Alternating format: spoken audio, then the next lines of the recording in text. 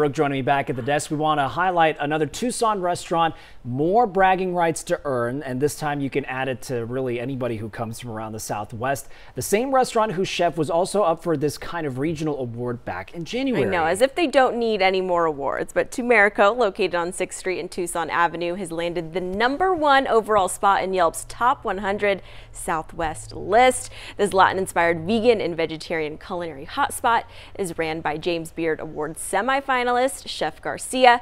She says their restaurant is still all about serving the community by healing through food.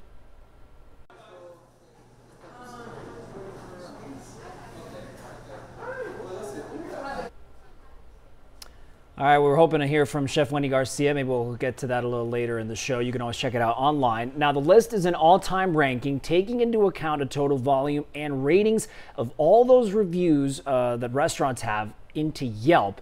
Remember, Yelp was launched back in 2004, wow. so there's been some time to determine this list. Among a list of those top eateries, a lot of them are based in Vegas, in Denver, and Phoenix. And despite all of that, Tumerico landed number one in its category. Yeah, I featured them during the Super Bowl time. They were one of those restaurants that was headed up for Guy Fieri's tailgate, and she's so humble. Chef went, she's just so humble about it. We, we, it. we do this to ourselves here on Good Morning Tucson. It's just talking about all the amazing food we have around town. It just makes us hungry. It's like all we have time. to hold off for lunch. You know, and she actually starts cooking now, about now. So. I, I, interviewed her at 7 a.m. and she was already cooking. So we, would be we'd be looking for an appetite that big. All right, thank you, Brooke.